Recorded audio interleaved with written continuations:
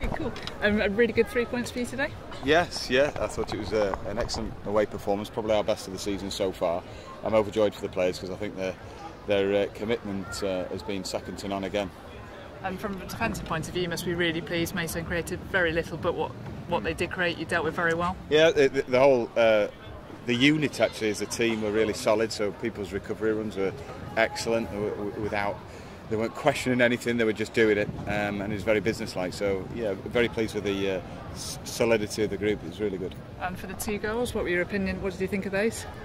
Well, good. It, it was good because it, it, different types of goals, obviously set set play, and we've got some good lads attacking good areas and um, and making a difference in the box. And then the second goal was a great ball from Joe Leesley, and, and Jack Muldoon did the rest. And makes it sound like it was easy, but it wasn't at all. Yeah, it was a great finish and another good goal for him. I understand that was uh, Callum Howe's fourth goal of the season from centre half. That's a pretty good return so far. Yeah, he's um, in a real, really good vein of form and just delighted for him. He's a really honest lad and he's coming into his own. So, partway through the uh, season, first month or two down, how are you finding it in the National League? You've adjusted really well, haven't you? Well, I think the lads have been accredited themselves. Their attitude has been spot on. So, I think they've um, they've probably surprised themselves by by the way they've come out the blocks, and um, but we're all delighted.